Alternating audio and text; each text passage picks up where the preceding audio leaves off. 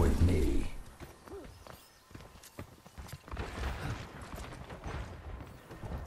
Very well.